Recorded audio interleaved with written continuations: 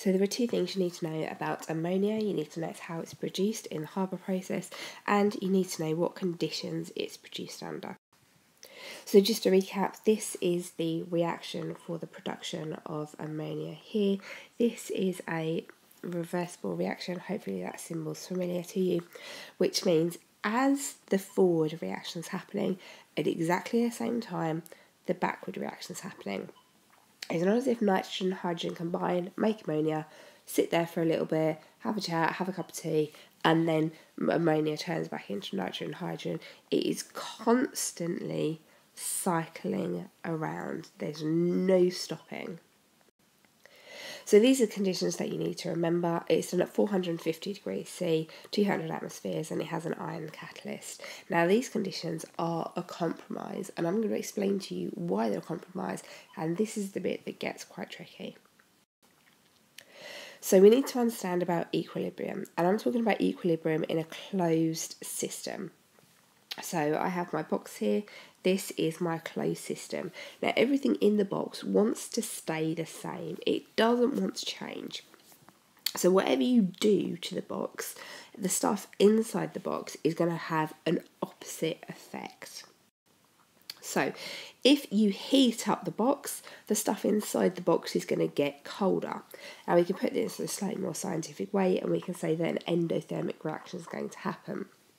If you squash the box or squash a balloon, the scientific way of saying this is that you're increasing the pressure, so it's going to want to decrease the pressure.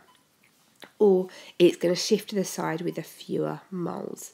This is all about the box or the the reaction vessel, the stuff inside it counteracting what you do to the outside of it. So, one of the questions I could ask you is to explain why uh, the Haber process is carried out at 450 degrees when the forward reaction is exothermic. Now, if we heat things up, remember the, the reaction vessel, the stuff inside, wants to get colder. It wants to do the endothermic reaction. So if we heat this up, it's naturally going to go in this direction here, which seems counterintuitive because we want to produce ammonia, so we want to be forcing it in this direction, but heating up will shift the equilibrium to this side. But we need to remember, we need to think back a little bit and think back about rates of reaction. If we increase the temperature, particles are going to have more energy, they're going to collide more often, and we're going to get more successful reactions taking place. So, increasing the temperature will shift the equilibrium to this side, but it will also speed up the rate of reaction. So, I've written this down here for you. Um, hoping to make it a bit clearer. An increase in temperature will cause the reverse reaction to increase, shifting the equilibrium to the left hand side.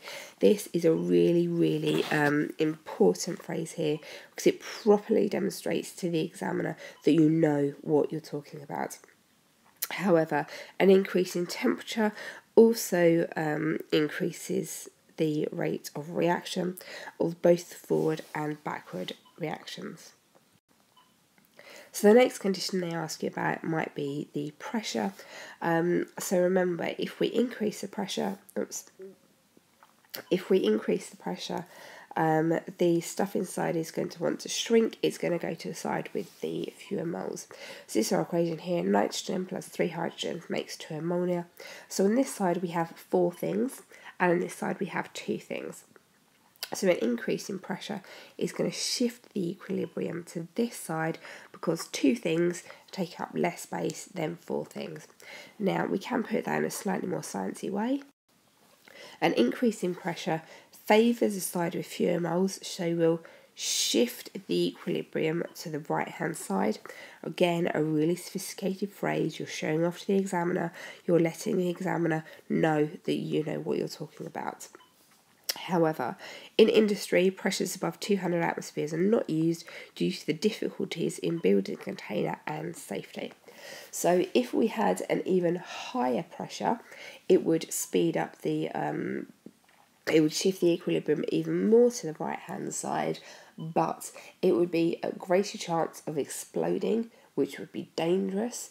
Um, you could have workers hurt, you could have them killed. So not only would it be dangerous, it would be hard to build a container that would um, hold it. And because it's more dangerous, things like your insurance costs are going to go up, your building costs are going to go up. So there's quite a lot going on in here.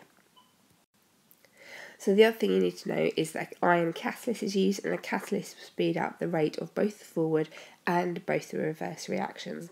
Now whenever you're talking about ammonia, and the Haber process, you have to remember that it's removed as liquid at the bottom of the reaction vessel, so this will automatically shift the equilibrium to the right hand side. Thanks for watching. I really hope this is helpful. Subscribe so you don't miss any of my new videos. Share to help your friends get better grades. Any comments, corrections, questions or requests down below please.